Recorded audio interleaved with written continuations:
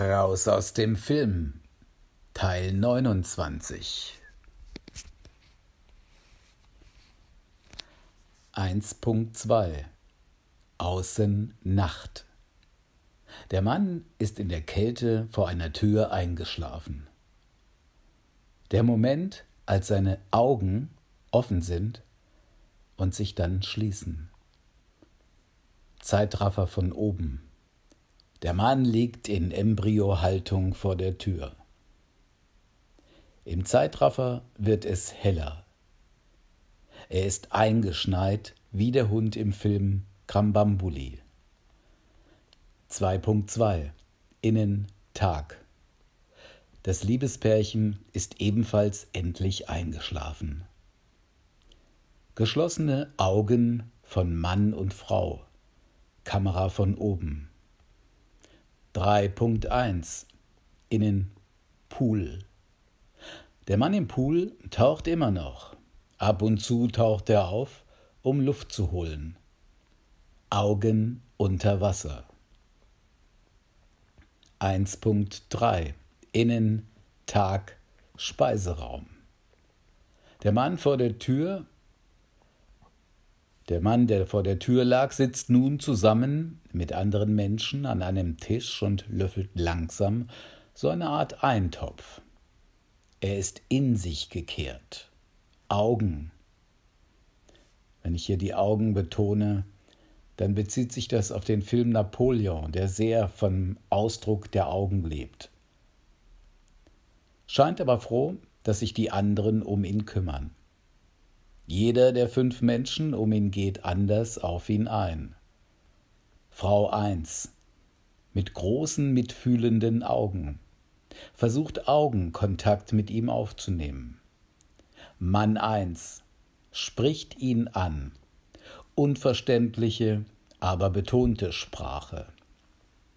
Frau 2 legt ihre Hände um seine Schultern. Frauen 3 und 4 schauen sich Augen an, weil sie nicht wissen, was mit diesem Mann los ist. 2.3 Innen Tag Bad Toilette. Die Frau des Liebespärchens sitzt auf der Toilette. Kamera von unten aus dem Toilettensiphon, aus dem bewegten Wasser. Es ist keine konkrete Kontur des Anus oder der Geschlechtsorgane zu erkennen. Es ist verschwommen, aber der Zuschauer fantasiert eben. Verschwommenes Bild des Unterkörpers der Frau auf der Toilette sitzend, zum Beispiel wie die trinkende Kuh bei GoPro-Filmen. Der Mann des Liebespärchens rasiert sich nass. Kamera fährt von den Füßen langsam nach oben in sein Gesicht bis in die Augen. Er schaut sich an und scheint über seine Liebesbeziehung mit seinen Augen zu sinnieren. 4.0 Innen Tag Gruppenraum. Die Szene steht im bewussten Kontrast zu den bisherigen Augen. Allen haben nämlich ihre Augen geschlossen oder nur leicht geöffnet. Sie sitzen zusammen. Die gleichen Menschen wie in der Speiseraumszene. Kamera filmt die unterschiedlich geschlossenen Augen.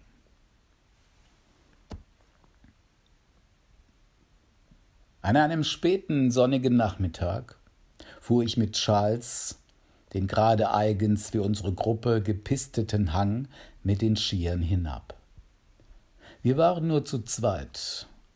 Charles war im Gegensatz zu mir ein begnadeter Skifahrer, aber ich hatte seit meinen ersten Versuchen ordentlich aufgeholt und jedes Mal beim Abfahren eine kindliche Freude, so wie ich sie früher als Siebenjährige auch nach dem Schwimmen lernen oder Schlittenfahren hatte.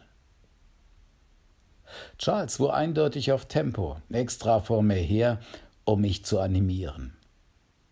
Der Hang gehörte uns, die Berge gehörten uns, wir gehörten uns in dem rosafarbenen Schnee der nahen Abenddämmerung. Vergessen die Strapazen des Aufstiegs, hinab über die angeeiste Piste. Keine Skifahrt, von einem zum anderen Tag gleich der anderen, weil der Schnee immer eine neue Konsistenz hat. Ich jagte Charles hinterher.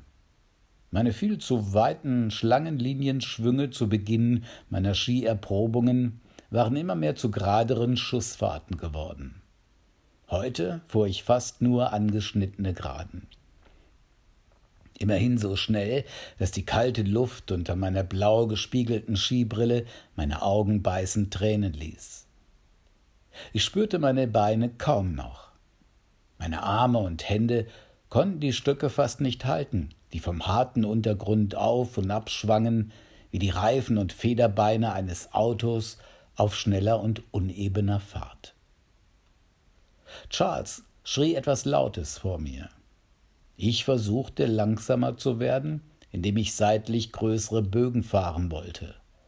Aber die verfluchte Piste war einfach zu schmal, viel zu schmal. Und als mir klar wurde, dass die Spurung wohl etwas gewagt für den Zustand des Hanges geraten war, war etwas, das ich zunächst nicht verstand, zu spät. Charles schien weg zu sein, nur seine hohe und laute Stimme war ab und zu noch da. Von da an hatte ich die Kontrolle über das Ganze verloren.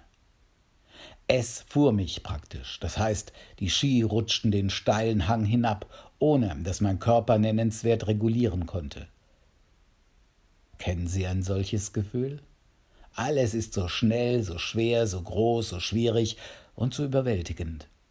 Eine Grenze ist plötzlich überschritten. Was dann passierte, war wie eine Beobachtung aus sicherer Entfernung, weit von mir weg.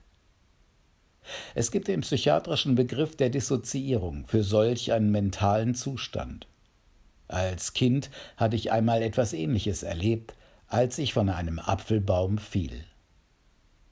Gerade noch gestiegen und gehalten und geklettert, auf einmal ein Rutschen, ein Fallen. Du fällst und gleichzeitig siehst du dich beim Fallen. Zwei Dinge, mit ein und der gleichen Person geschehen parallel, spalten sich auf, den sicheren Aufprall Bruchteile von Sekunden vorweggenommen. Damit es erträglicher ist?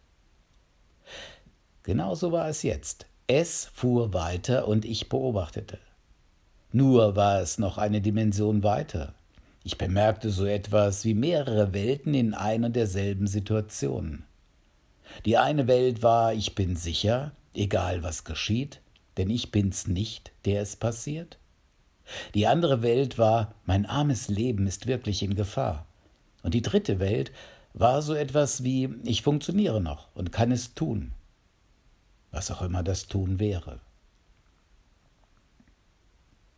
Die Ski flogen zuerst wie Pfeile in der Luft, dann schossen sie jeder in eine andere Richtung den Hang hinab.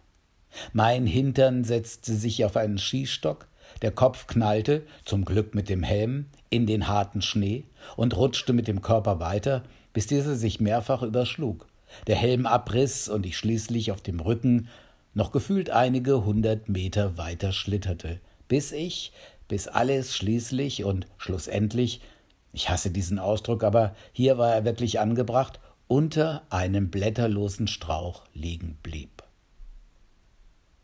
Stille und nochmals Stille. Himmel, Licht, mein Atem. Keine Sekunde in diesem Inferno war ich bewusstlos gewesen.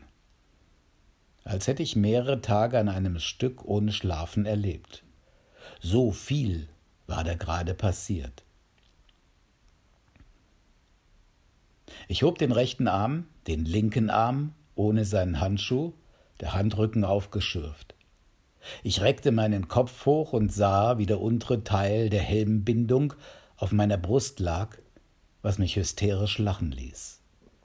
Eine schwarze, dicke Haarsträhne von mir, mein geliebtes Haar, lag fein säuberlich auf einem dornigen Ästchen des Strauches. Ich fluchte. Ich suchte das Blut dazu. Ich sah es nicht. Dann erschien Charles, mein geliebter Charles, sein Gesicht über mir.